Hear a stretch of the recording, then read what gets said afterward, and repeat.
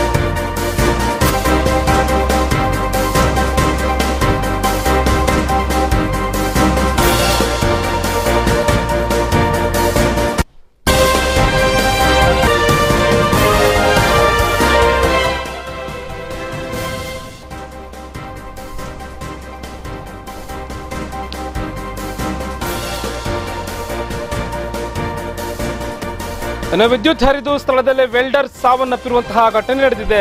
High tension ವಿದ್ಯುತ್ ತಂತಿಯಿಂದ ಈ ಒಂದು ಅವಘಡ ಸೃಷ್ಟಿಯಾಗಿರುವಂತದ್ದು ನೆಲಮಂಗಲ ತಾಲೂಕು ಹೊಸ ನಿಜ್ಗಲ್ ಗ್ರಾಮದಲ್ಲಿ ಈ ಘಟನೆ ನಡೆದಿದೆ. ಮಧುಗಿರಿ ಮೂಲದ ಫೈರೋಜ್, ನಲವತ್ತು ವರ್ಷದ ಫೈರೋಜ್ ಎಂಬಾತ ಮೃತ ದುರ್ದೈವಿ.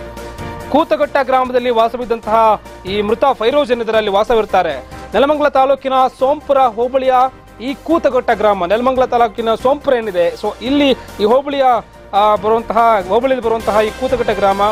ಇನ್ನು ಯಾಕೆ ಈ ಘಟನೆ ಆಯಿತು ಅಂತ ನೋಡೋದಾದ್ರೆ, ಆ ಹೊಸದಾಗಿ ನಿರ್ಮಾಣ ಹಂತದಲ್ಲಿದ್ದಂತಹ ಆಂಜನೇಯ ಸ್ವಾಮಿ ದೇವಾಲಯ ಏನಿದೆ, ಈ ದೇವಾಲಯದ ಅದು ವೆಲ್ಡಿಂಗ್ ಕಾರ್ಯ ಏನಿತ್ತು, ಈ ವೆಲ್ಡಿಂಗ್ ಕೆಲಸದ ವೇಳೆ ಈ ಒಂದು ಅವಘಡ ಸೃಷ್ಟಿಯಾಗಿರುವಂಥದ್ದು. ಸದ್ಯ ಮೃತದೇಹ ತುಮಕೂರು ಜಿಲ್ಲಾಸ್ಪತ್ರೆಗೆ ರವಾನೆ ಮಾಡಲಾಗಿದೆ. ದಾವಸ್ಪೇಟೆ ಪೊಲೀಸರು ಒಂದು ಪ್ರಕರಣವನ್ನ ದಾಖಲು ಮಾಡ್ಕೊಂಡಿದ್ದಾರೆ. ನೋಡಿ, ಈ ಮಳೆ ಬಂದಾಗ ಏನೆಲ್ಲ ಅವಘಡಗಳು ಸೃಷ್ಟಿಯಾಗ್ತವೆ. ಒಂದು ಕಡೆ ಮರಗಳು, ಕೆಳಗಡೆ ಉರುಳಿದ್ರೆ, ಕೆಲವು ಬಾರಿ ಬಿರುಗಾಳಿಯಿಂದ ಮನೆಯ ಮೇಲ್ಛಾವಣಿಗಳೇ ಕಿತ್ಕೊಂಡು ಹೋಗ್ತವೆ. ಜೊತೆಗೆ ವಿದ್ಯುತ್ ತಂತಿ, ವಿದ್ಯುತ್ ಕಂಬಗಳು ಕೂಡ ಗಮನಿಸ್ಬೋದು ನಾವು ಎರಡು ಮೂರು ಎರಡು ಮೂರು ಕಡೆ ಇದೇ ರೀತಿಯಾಗಿ ಆಗಿದೆ ಬಸ್ಗಳ ಮೇಲೆಲ್ಲ ಕೂಡ ವಿದ್ಯುತ್ ಕಂಬ, ವಿದ್ಯುತ್ ತಂತಿ ಮರದ್, ಮುರಿದು ಬಿದ್ದು ಏನೆಲ್ಲ ಅವಘಡಗಳು ಸೃಷ್ಟಿಯಾಗಿದೆ ಅಂತ. ಅದೇ ರೀತಿಯಾಗಿ ಇಲ್ಲೂ ಕೂಡ ಗಮನಿಸ್ಬೋದು. ನಿಮಗೆ ಸಂಪೂರ್ಣವಾಗಿ ದೃಶ್ಯವನ್ನು ತೋರಿಸ್ಲಿಕ್ಕೆ ಸಾಧ್ಯ ಆಗೋದಿಲ್ಲ. ನಿರ್ಮಾಣ ಹಂತದಲ್ಲಿದ್ದಂತಹ ಆಂಜನೇಯ ದೇವಸ್ಥಾನ ಏನಿತ್ತು, ಅಲ್ಲಿ ಇವರು ವೆಲ್ಡಿಂಗ್ ಕೆಲಸನ ಮಾಡ್ತಾ ಇರ್ತಾರೆ. ಅಲ್ಲಿ ಅಚಾನಕ್ಕಾಗಿ ಈ ವಿದ್ಯುತ್ ಸ್ಪರ್ಶ ಆಗ್ಬಿಟ್ಟು ಅಲ್ಲಿ ಈ ಸಂದರ್ಭದಲ್ಲಿ ಈತ ಕೆಲಸ ಮಾಡುವ ಸಂದರ್ಭದಲ್ಲಿ ಫೈರೋಜ್ ಎಂಬಾತ ನಲವತ್ತು ವರ್ಷದ ಫೈರೋಜ್ ಎಂಬಾತ ಈತ ಸಾವನ್ನಪ್ಪಿರುವಂಥದ್ದು. ಮಧುಗಿರಿ ಮೂಲದ ಫೈರೋಜ್, ಈತ ಈ ಒಂದು ನಿರ್ಮಾಣ ಹಂತದಲ್ಲಿಂತಹ ಆಂಜನೇಯ ದೇವಾಲಯದ ವೆಲ್ಡಿಂಗ್ ಕಾರ್ಯ ಮಾಡುವಾಗ, ವೆಲ್ಡಿಂಗ್ ಕೆಲಸ ಮಾಡುವಾಗ ಈ ಅವಘಡ ಸೃಷ್ಟಿಯಾಗಿದೆ. ನೋಡಿ, ಇದರಿಂದಾಗಿ ಅವರು ಸ್ಥಳದಲ್ಲೇ ಸಾವನ್ನಪ್ಪಿದ್ದಾರೆ. ತಕ್ಷಣ ಅವರನ್ನ ತುಮಕೂರು ಜಿಲ್ಲಾಸ್ಪತ್ರೆಗೆ ರವಾನೆ ಕೂಡ ಮಾಡಲಾಗಿದೆ. ಆದರೆ ದುರದೃಷ್ಟವಶಾತ್ ಇವರ ಬದುಕಿ ಬರಲಿಕ್ಕೆ ಸಾಧ್ಯ ಆಗಿಲ್ಲ. ಈ ಒಂದು ಪ್ರಕರಣ ದವಸಪೇಟೆ ಪೊಲೀಸ್ ಠಾಣೆಯಲ್ಲಿ ದಾಖಲಾಗಿರುವಂಥದ್ದು ಪೊಲೀಸರು ಕೂಡ ಅಲ್ಲಿ ಹೋಗಿ ಈ ಒಂದು ಪ್ರಕರಣದ ವರದಿಯನ್ನು ಪಡೆದುಕೊಂಡು ಪ್ರಕರಣವನ್ನ ದಾಖಲು ಮಾಡಿಕೊಂಡಿದ್ದಾರೆ. ಒಂದ್ ಕಡೆ ಇವರ ಒಂದು ಸಾವಿನಿಂದಾಗಿ ಅವರ ಕುಟುಂಬಸ್ಥರಿಗೆ ಒಂದು ನೋವೇನಿದೆ, ನಿಜಕ್ಕೂ ಕೂಡ ಮುಗಿಲು ಮುಟ್ಟಿದೆ ಅಂತಾನೆ ಹೇಳ್ಬೋದು. ಅವರ ಆಕ್ರಂದನ ಮುಗಿಲು ಮುಟ್ಟಿದೆ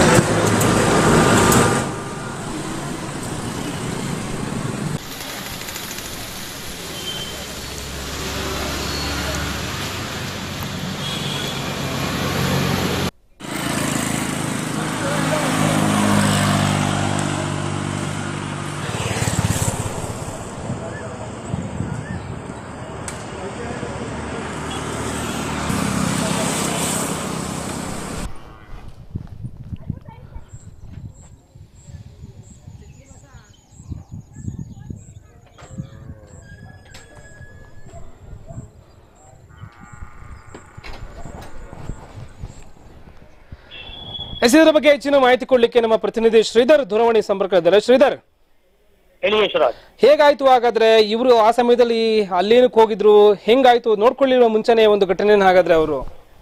ಯಶರಾಜ್ ಏನಂತ ಹೇಳಿದ್ರೆ ಇದು ಹೊಸ ನಿಜ್ಗಲ್ ಗ್ರಾಮದಲ್ಲಿ ಒಂದು ಆಂಜನೇಯ ದೇವಾಲಯ ಹೊಸದಾಗಿ ನಿರ್ಮಾಣ ಆಗಿದೆ. ಇನ್ನು ಕೆಲವೇ ದಿನಗಳಲ್ಲಿ ಉದ್ಘಾಟನೆಯ ಹಂತದಲ್ಲಿತ್ತು. ಆ ಒಂದು ಮುಂದೆಗಡೆ ಅಂದ್ರೆ ದೇವಸ್ಥಾನದ ಮುಂಭಾಗದಲ್ಲಿ ಶೀಟ್ ಶೀಟ್ಗಳನ್ನ ಹಾಕೋದಕ್ಕೋಸ್ಕರ ವೆಲ್ಡಿಂಗ್ಗೆ ಹೋಗ್ತಿರ್ತಾರೆ. ಆ ಒಂದು ಗ್ರಾಮದ ಮುಖಂಡ ನಾಗಣ್ಣ ಅನ್ನೋರು ಈ ಒಂದು ಕಾರ್ಯನ ಆ ಒಂದು ವೆಲ್ಡ್ ವೆಲ್ಡಿಂಗ್ ಮಾಡಿಸೋಕೆ ಕರ್ಕೊಂಡು ಹೋದಂತ ಸಂಬಂಧದಲ್ಲಿ ಈ ಫೈರೋಜ್ ಅನ್ನೋ ವ್ಯಕ್ತಿ ಅಂದ್ರೆ ವೆಲ್ಡರ್. ಆ ಫೈರೋಜ್ ಅನ್ನೋ ವ್ಯಕ್ತಿ ಈ ಮಧುಗಿರಿ ಮೂಲದವರು ಅವರು ಇಲ್ಲೇ ಶಿವಗಂಗೆ ಬಳಿಯ ಕುತ್ಕಟ ಗ್ರಾಮದಲ್ಲಿ ವಾಸ ಇರ್ತಾರೆ. ಆ ಚಿಕ್ಕದ್ರಿಂದನೂ ಕೂಡ ವೆಲ್ಡಿಂಗ್ ಕೆಲಸ ನಿರ್ವಹಿಸ್ತಾ ಇರ್ತಾರೆ. ಆ ಎಪ್ಪ ಹೋದಂತ ಸಮಯದಲ್ಲಿ ಅಲ್ಲಿನ ವಿದ್ಯುತ್ ಶಕ್ತಿ ಕನೆಕ್ಟ್ ಮಾಡ್ಕೊಳ್ಳೋದಕ್ಕೆ ಏನಾಗಿದೆ ಅಂತ ಹೇಳಿದ್ರೆ ಇವರು ಲೆವೆನ್ ಕೆವಿ ಹಾದು ಹೋಗುವ ಕಂಬ. ಅದು ಅದ್ರ ಕೆಳಗಡೆನೆ ಕೂಡ ಒಂದು ಬೆಸ್ಕಾಂನವರು ನಾರ್ಮಲ್ ತಂತಿಯನ್ನು ಅಳವಡಿಸಿದರೆ ಅಲ್ಲಿ ಕನೆಕ್ಟ್ ಮಾಡೋದಕ್ಕೆ ಹೋಗಿದ್ದಾರೆ. ಯಾವುದೇ ರೀತಿ ನಾಮಫಲಕ ಕೂಡ ಹಾಕಿಲ್ಲ ಅಂತ ಹೇಳಿದ್ರೆ ಒಂದು ರೀತಿ ಬೆಸ್ಕಾಂ ಇಲಾಖೆ ಬೇಜವಾಬ್ದಾರಿ ಅಂತಾನೂ ಕೂಡ ಹೇಳ್ಬಹುದು. ಆ ಮತ್ತೆ ಈ ವೆಲ್ಡರ್ದು ಆ ಅಸಹಾಯ ಅಸಹಾಯಕತೆ ಅಂತಾನೂ ಹೇಳ್ಬೋದು. ಆ ಒಂದು ಇದರಲ್ಲಿ ಆ ವೈರ್ನ ಕನೆಕ್ಟ್ ಮಾಡೋದಕ್ಕೆ ಹೋದಾಗ ಲೆವೆನ್ ಕೆವಿ ಏನಾಗಿದೆ ಆ ಒಂದು ವೈರ್ಗೆ ಟಚ್ ಆದಂತ ಸಂದರ್ಭದಲ್ಲಿ ಅಲ್ಲೇ ಸ್ಥಳದಲ್ಲೇನೆ ಕೂಡ ಕಂಬದ ಮೇಲಿಂದ ಕೆಳಿಕ್ ಬಿದ್ದು ಆ ಒಂದು ಸಾವನ್ನಪ್ಪಿರೋ ಅಂತ ಘಟನೆ ನಡೆದಿದೆ. ಯಶರಾಜ್ ಮತ್ತೆ ಈ ಒಂದು ವಿಷಯವಾಗಿ ಸ್ಥಳೀಯ ಪೊಲೀಸರು ದೊಡ್ಡಪೇಟೆ ಪೊಲೀಸರು ಸ್ಥಳಕ್ಕಾಗ ಸ್ಥಳಕ್ಕೆ ಆಗಮಿಸಿ ಈ ಒಂದು ಪ್ರಕರಣನ ದಾಖಲಿಸಿಕೊಂಡು ಪರಿಶೀಲನೆ ನಡೆಸ್ತಾ ಇದ್ದಾರೆ. ಮತ್ತೆ ಈ ಒಂದು ಜಿಲ್ಲಾಸ್ಪತ್ರೆಗೆ ರವಾನೆ ಮಾಡಿದ್ದಾರೆ. ಶ್ರೀಧರ್ ಒಂದ್ ನಿಮಿಷ ಏನಂದ್ರೆ ಈಗ ಈತನೇ ಹೋಗಿ ಈಗ ಏನು ಫೈರೋಸ್ ಅಂತ ಏನಿದ್ರು ಸೊ ಇವರೇನೆ ಹೋಗಿ ವಿದ್ಯುತ್ ಕಂಬಕ್ಕೆ ಹತ್ತಿ ಒಂದು ಸಪ್ಲೈನ ಪಡ್ಕೊಳ್ಳಿಕ್ ಹೋಗಿದ್ರು ಹಾಗಾದ್ರೆ? ಹೌದು ಏನಂತ ಹೇಳಿದ್ರೆ ಆ ವೆಲ್ಡಿಂಗ್ ಮಾಡೋದಕ್ಕೆ ವಿದ್ಯುತ್ ಅವಶ್ಯ ಅವಶ್ಯಕತೆ ಇರುತ್ತೈತೆ. ಆ ಅಲ್ಲ ಅಲ್ಲ ಒಂದು ನಿಮಿಷ ಒಂದ್ ನಿಮಿಷ. ಶ್ರೀಧರ್ ಶ್ರೀಧರ್ ಏನಂದ್ರೆ ಯಾವ್ದೇ ಒಬ್ಬ ಕಾಮನ್ ಪೀಪಲ್ ನಾರ್ಮಲ್ ವ್ಯಕ್ತಿ ಸಾಮಾನ್ಯ ವ್ಯಕ್ತಿ ಆ ರೀತಿಯಾಗಿ ಕಂಬದಿಂದ ಅಂದ್ರೆ ವಿದ್ಯುತ್ ಸಪ್ಲೈನ ತಗೊಳ್ಳೋದು ತಪ್ಪು. ಈಗ ಹಾಗಾದ್ರೆ ತಪ್ಪು ಯಾರ್ದಂತ ಹೇಳ್ತೀರಾ ನೀವು? ಒಂದ್ ಕಡೆ ಬೆಸ್ಕಾಂ ಇಲಾಖೆ ಅವ್ರದ ಅಥವಾ ಈತನ ನಿಜ ಈತನೇ ಹೋಗಿ ಮಾಡ್ಕೊಂಡಿ ತಪ್ಪ ಹಾಗಾದ್ರೆ? ಒಂದ್ ರೀತಿ ಸೈರೋಸ್ನ ನಿರ್ಲಕ್ಷ್ಯತನೇ ಕಾರಣ ಅಂತ ಹೇಳ್ಬೋದು.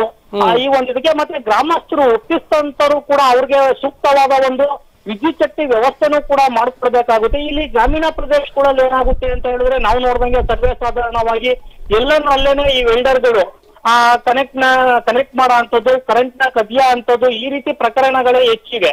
ಆ. ಒಂದು ಇದರಲ್ಲಿ ದುರಾದೃಷ್ಟವಶಾತ್ ಈ ಒಂದು ಅವಘಡ ಸಂಭವಿಸಿದೆ ಅಂತಾನೆ ಹೇಳ್ಬಹುದು ಇದಕ್ಕೂ ಕೂಡ ತಕ್ಕಂತೆ ಬೆಸ್ಕಾಂ ಇಲಾಖೆಯವರು ಕೂಡ ಸೂಕ್ತ ಒಂದು ಪ್ರಮಾಣ ವಹಿಸಬೇಕಾಗಿದೆ ಈ ಒಂದು ಗ್ರಾಮೀಣ ಪ್ರದೇಶದಲ್ಲಿ ಎಲ್ಲಂದ್ರಲ್ಲೇ ಕರೆಂಟ್ನ ಸ್ಕಿನ್ ಮಾಡೋ ಅಂಥದ್ದು ಹಾಕೋ ಅಂತದ್ದು ಈ ಒಂದು ನಿಟ್ಟಿನಲ್ಲೂ ಕೂಡ ಅವರು ಕೂಡ ಆ ಗ್ರಾಮೀಣ ಪ್ರದೇಶದ ಜನರಿಗೆ ಮುನ್ನೆಚ್ಚರಿಕೆ ಹಾಗೂ ಸೂಕ್ತ ಕ್ರಮಗಳನ್ನ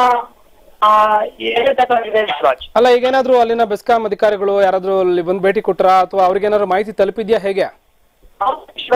ಅಧಿಕಾರಿಗಳು ಕೂಡ ಆ ಸ್ಥಳಕ್ಕೆ ಆಗಮಿಸಿದ್ರೆ ಆದ್ರೆ ಅವ್ರು ಹೇಳೋ ಅಂತದ್ದು ಒಂದೇ ಆನ್ಸರ್ ಇದೆ.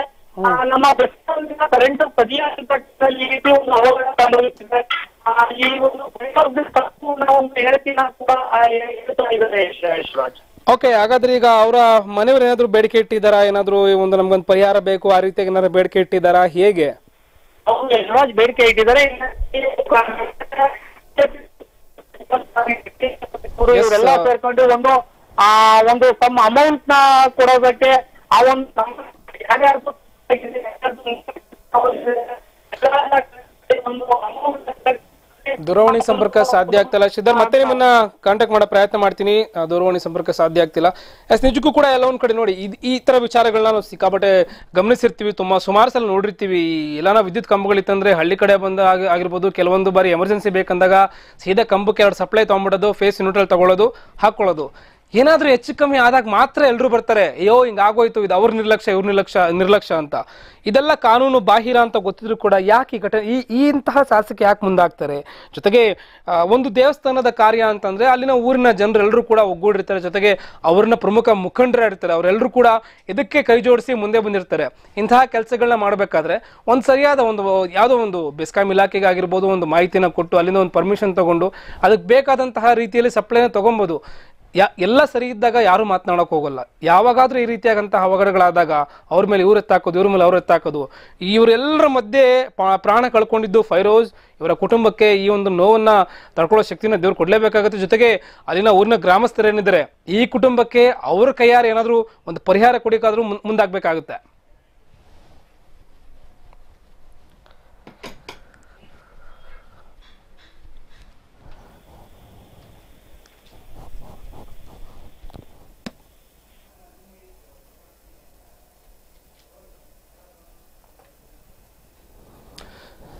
ಎಸ್ ಶ್ರೀಧರ್.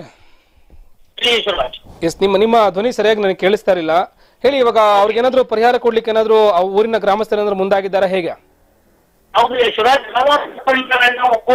ಇದು ಯಾರಿಂದ ತಪ್ಪು ಮೂರ್ ಮೂರ್ನಾಲ್ಕು ಕಡೆಯಿಂದ ಲಕ್ಷ ರೂಪಾಯಿ ಘೋಷಣೆ ಮಾಡಿ ತಾತ್ಕಾಲಿಕವಾಗಿ ಒಂದು ವೃತ್ತ ಪರಿಹಾರನ ಕೊಟ್ಟು ಅಂತ್ಯ ಸಂಸ್ಕಾರಕ್ಕೆ ಆ, ಮುಂದಾಗಿದ್ದಾರೆ. ಯಶವರಾಜ್ ಅಂದ್ರೆ ಒಂದು ಯೋಚನೆ ಮಾಡ್ಬೇಕಾದ್ರೆ ಇಲ್ಲಿನ ಸ್ಥಳೀಯ ಮುಖಂಡರು ಎಲ್ಲರೂ ಕೂಡ ಒಗ್ಗಡೆ ಅಂದ್ರೆ ಶಾಸಕರು ಕೂಡ ಭೇಟಿ ಕೊಟ್ಟಿದ್ದಾರೆ. ಇಲ್ಲಿನ ಸ್ಥಳೀಯ ಶಾಸಕರು ಶ್ರೀನಿವಾಸ ಮೂರ್ತಿ ಅವರು ಭೇಟಿ ಕೊಟ್ಟು ಆ, ಅವರ ಕೈಲಾದಷ್ಟು ಕೂಡ ಒಂದು ನಿಧಿಯಿಂದ ಈ ಒಂದು ಕಾರ್ಯಕ್ಕೆ ಅಮೌಂಟ್ ಕೊಡೋದಾಗಿ ಹೇಳಿದ್ದಾರೆ ಈಶ್ವರಾಜ್ ಧನ್ಯವಾದ ತಮ್ಮೆಲ್ಲ ಮಾಹಿತಿಗಾಗಿ ಶ್ರೀಧರ್.